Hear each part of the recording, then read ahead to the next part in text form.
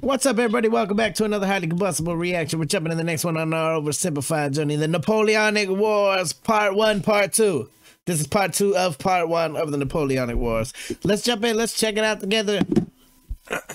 See what we got. If you enjoy it, most certainly get over Show Oversimplified, all the love of the world. You're missing out on fantastic history if you've never been over to that channel. Let's go. Sire, you've achieved peace. Yes, Pierre, but not for long. I still don't trust those dirty Brits. Did you hear they've been calling me the Bony Man? What Bony Man? Shout out to Mikhail for the request, by the does way. that even mean? Keep an eye on them, would you? I can't, sire. Why not? Because they use NordVPN. How would you like to spend 12 Oh, every single every single thing is blended so well. hours a day on your favorite website ever without the fear of your data being stolen? Then you need NordVPN. NordVPN. NordVPN has thousands of secure servers in 59 countries, allowing you to safely surf the net at the fastest possible speed don't think we while staying away from online threats, thanks to the anti-malware tool, CyberSec. NordVPN comes with a 30-day money-back guarantee, and now you can take advantage of their new password manager, NordPass, and new encrypted cloud storage solution, NordLocker. NordVPN lets you search for better deals in other territories and unlock content not available in your country, like some oversimplified videos, for example. It's incredibly easy to use. Because we know that With one just got a click of a button, you can head up to Canada and watch some sweet Canadian TV, just like that. Go to nordvpn.com slash oversimplified to get a two-year plan plus one additional month with a huge discount. That's nordvpn.com slash oversimplified. And as always, you'll be supporting my channel.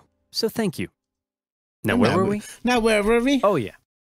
Crossing the Alps, defeating the Austrians, and Europe at peace.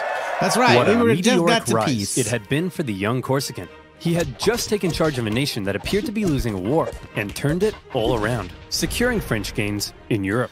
But there was now a big question. He was You a see, badass. Throughout the chaotic it's French Revolution, Jesus. French governments had struggled to keep the economy afloat. They often didn't have a whole lot of support, and they frequently came and went. Would Napoleon finally be the man who could stick around? Military victories were one thing, but could the general also govern? Spoiler alert. Yes. The economy's crumbling? Well, then why don't you have yourself a new national bank, currency reform, and improved taxation and welfare systems? The legal system is an incoherent mess? Well, then why don't we nicely wrap all those civil laws up into one new centralized legal code? Corrupt government officials? Throw them in the trash. Bad infrastructure? Throw it in the trash. Women's rights? Throw them in the trash. Wait, really? Well, yeah, unfortunately, while Napoleon was building on the equality of the revolution, he also largely scaled back rights for certain groups, and husbands had full legal control over their wives. But come dick. on, ladies, maybe let men have a slice of the pie for once. Okay? Napoleon further reformed education, ensuring a system based on individual ability, meaning now Simeon had to compete with everyone else, and Napoleon could get the cream of the crop to help him run the republic. But he wasn't just building on the ideas of the revolution. The revolution had led to a lot of chaos, and Napoleon needed stability. So he rolled back a couple things. Just put his head back on his shoulders. I saw that. The revolution had pretty much kicked the Catholic Church to the curb, but Napoleon understood that since many French citizens still considered themselves Catholic, that could be a problem. So he came to an agreement with the Pope and brought back the Church, only this time with some pretty hefty power limitations. He also ensured freedom for other religions, and is often noted for his positive treatment of Jewish people at a time. Sorry about that, guys. We had to get rid of the hiccups first. Otherwise, it'll be a whole video of me sitting here going, "Yeah." freedom for other religions, and is often noted for his positive treatment of Jewish people at a time of widespread anti Semitism. But while all of this may make Napoleon sound like a pretty stand up dude, it's good to note that he believed in religious freedom because he thought it was a powerful tool to keep the poor from eating the rich. Or something like I mean, yeah, I could see that. that. Overall, Napoleon's When aim you're hungry, you eat whatever's around. was to end the chaos of the revolution and finally create a stable and prospering French republic. And in that aim, he seemed to be largely successful and generally popular with the people of France. He officially declared that the revolution is over, adding, I am the revolution. Napoleon's head could be seen for miles. Of course, not everyone was happy with Napoleon's reforms. Conservatives felt he was too radical. Radicals felt he was too conservative. But since Napoleon was a dictator, opposition could usually be stamped out with some good old fashioned iron fisting. In 1804, Napoleon took one last Consider major yourself step. iron After fisted. some failed attempts were made to assassinate him, he wanted to strengthen his position and ensure his dynasty could live on after him. And so he decided being first consul for life simply wasn't quite enough. He decided he should become emperor. He held a vote, asking the French people if they were cool with the idea, and they returned a definitely not rigged 99.9% in favor. The balls on this man. Definitely so on not the 2nd rigged. of December, 1804, in an elaborate ceremony at Notre Dame, Napoleon was made emperor. The Pope was even invited to attend, and normally he would crown an emperor. But to make sure everyone knew this wasn't some Charlemagne style circular power division, Napoleon lifted the crown and placed it on his own head. Like I said, the balls on this man. He was He now got some emperor of the. French. Well, Napoleon, you were a general. Then you became first consul for life, and now you're an emperor. Is it enough yet? Is your ambition finally satisfied? No. Hmm. I don't know, Pierre. What comes after emperor? I would say god, sire. You want to be a god? Yes. Yes. Yes, I do. I'll put it down under maybe. Okay, everyone. What the hell is going on? This Corsican guy showed up out of nowhere, and he's kicking our ass. He's exporting the ideas of the French Revolution wherever he goes, and he just declared himself King of Italy and Emperor. He can't do that. I'm the Emperor. Oh, hey, fellow monarchs. I see you're having a monarch party. My invite must have got lost in the mail. I'll just set up a spot right here. wow. You don't belong here, Napoleon. We're coming to take you down. I'd like to see you try. Whoa, I'm so scared I just pooed my pants. Hey, everyone, I just pooed my pants. The laughing phases. no, but I did just poo my pants. Before Napoleon had even declared himself emperor, the British had already redeclared war on France because both sides had been violating their previous treaty. Napoleon immediately occupied Hanover and then began making plans for a great British invasion, partially paid for by selling a huge chunk of land to the United States. Napoleon gathered his army along the English Channel, but here was the problem. While Napoleon's powerful army would almost certainly obliterate the British on land, there was very little chance he'd actually make it across the Channel, because Britannia ruled the waves. This power dynamic would keep the two traditional enemies from engaging in much real direct combat throughout the Napoleonic Wars. However, the British had something else up their sleeve copious amounts of money. They were willing to throw cash at anyone who would go to war against Napoleon, and there were plenty of takers. It's almost worth it to just go back and rewatch these a million times because you're always going to find something new that you didn't see before. Austria, Russia, Naples, and Sweden, hoping to put Napoleon's France back in its place, formed the Third Coalition against France. The coalition forces probably thought that this time they stood a chance. They weren't prepared for the total humiliation they were about to suffer. The War of the Third Coalition was Napoleon at his best. We've already learned two ways in which Napoleon was a great military commander, but here comes one of the biggest reasons speed. He had reorganized his army into corps, which were themselves basically small armies. Each had their own infantry, cavalry, and artillery, and as a result, was able to act more independently. They spread out through the countryside, and by living off the land rather than relying on heavy supply trains, they were able to move. That's a hell of a way to extremely live off the land. Napoleon would traverse massive distances, outmaneuver his enemies, isolate them, and then move in for the kill before they even knew what was going on. Lightning warfare leading to total destruction. Would you like to see him do it? Yes. Here we go. Part of the coalition's plan was for the Russians to meet up with the Austrians and take on Napoleon together. Combined, they could turn the tide against him, so Napoleon needed to stop them from ever meeting. But he's all the way over in Boulogne.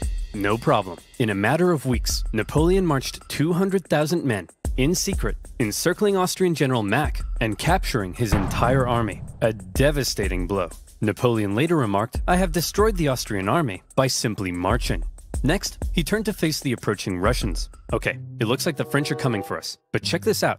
I've got an amazing idea. When they approach, we run away.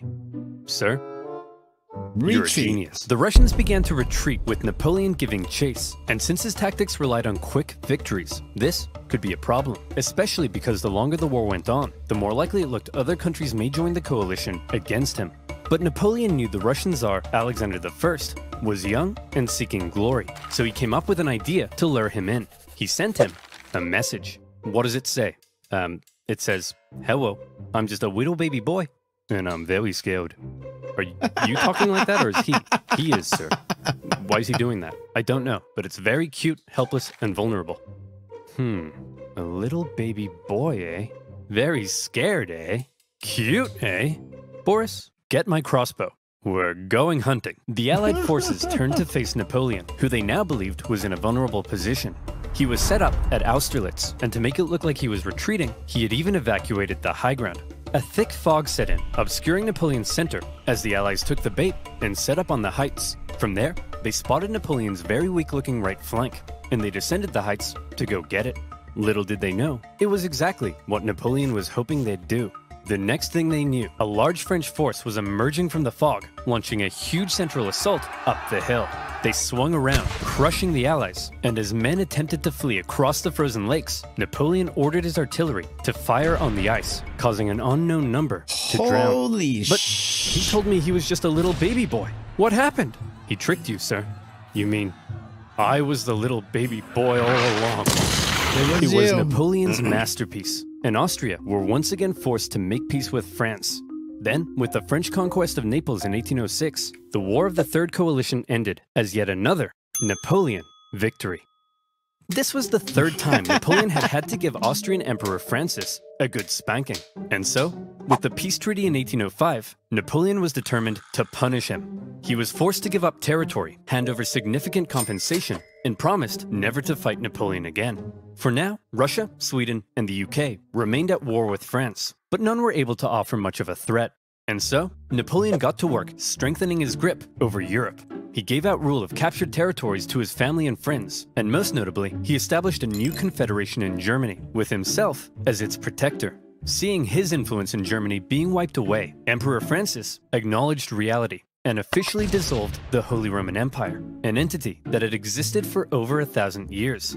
But it wasn't all good news for Napoleon. For one thing, Spain had earlier allied with France in 1804 because the British just couldn't help themselves from blowing up Spanish ships, and Napoleon hoped a combined French Spanish fleet would eventually be able to invade England. Unfortunately, he received word that British Admiral Nelson had engaged his fleet at Trafalgar. Normally, naval battles looked like this, but in this case, Nelson did this. Was it because he was an idiot? No. It's because he was a genius. He successfully punched through the Franco Spanish line and unleashed hell. His victory ensured British control of the sea, and his death during the battle made him a legend. Napoleon's hopes for a a future. British invasion were gone. But not just that. Napoleon was also hoping to secure peace on the continent, but that He did do a hell of a lot though. Like when you when you, when we hear it in school over here, it's gonna be like, oh yeah, you know Napoleon. He took over a bunch of countries. But seeing it this way, it's like, whew, down to the ASNAT detail. wasn't like, looking likely because the Prussian king was under pressure from his wife. Frederick, he's established a confederation in our turf, and he told us he'd give us Hanover, but then offered it to the British. You have to declare war on him. What is it with you and war? What is it with you and being a cupcake? Go to war! Go to war. In October 1806, Prussia, with its famed military tradition, joined the coalition and declared war, beginning the War of the Fourth Coalition.